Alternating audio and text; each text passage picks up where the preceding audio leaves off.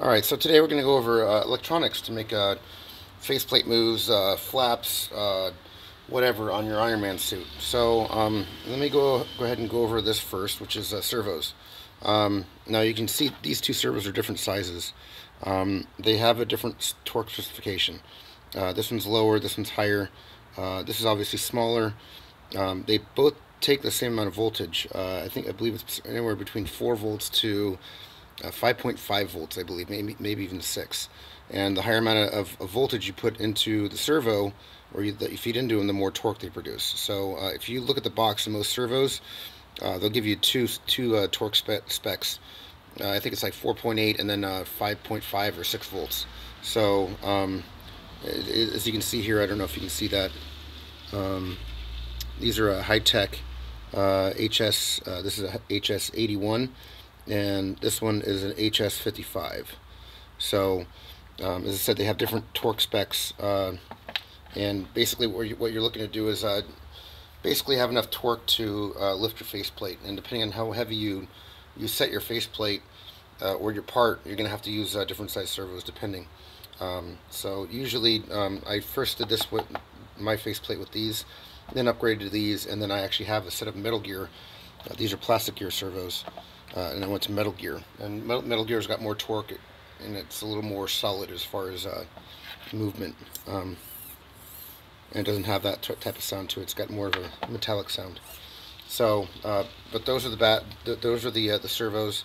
Uh, I usually run them off of just a two, um, or a set of four uh, AA batteries. So, and that gives you. Let me double check this real quick. My multimeter.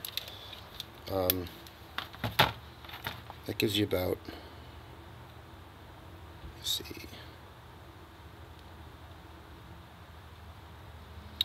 I believe it's almost uh, 4 volts, if not 5, because uh, they're in series. So, um, but anyway, so that's the battery pack. Basically, uh, um, this is your run-of-the-mill 4-pack um, AA battery setup. So, uh, next we're going to go on to uh, the chip. Now, I use uh, Pololu chips. Uh, they're, they're cheap, they're small, uh, they're easy to program. Um, you can get them at pololu.com. I, I, believe this was like 19 or 20 bucks.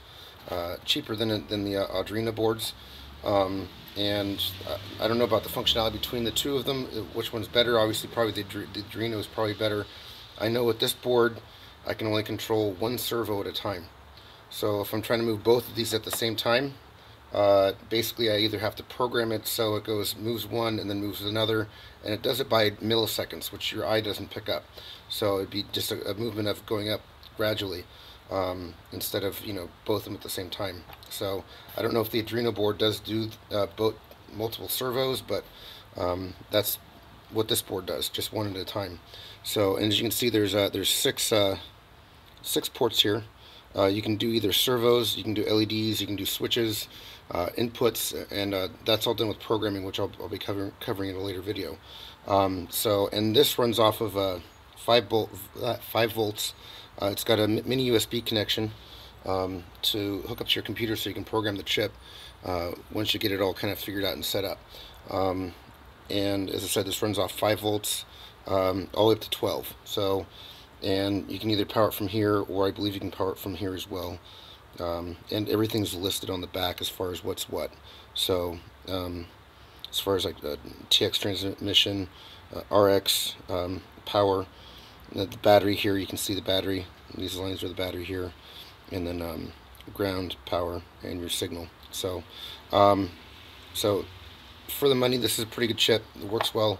Um, trying to think what else. I think that's pretty much about it. These will actually run LEDs as well. Um, and this board is resistored. So, um, for example, on, on my LED setup here, uh, if you notice, these are uh, resistored, as you can see right there.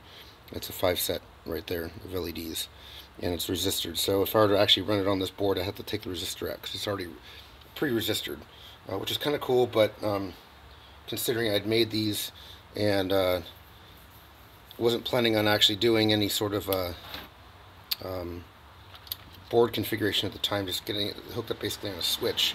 Uh, they were resistored, so now if I run those on this board, um, I have to take the resistor out because they, they're not as bright. Um, so, but anyways, that's just a basic rundown on on um, on the electronics that I use for my my helmet. Won't really go too much into into how it's actually done.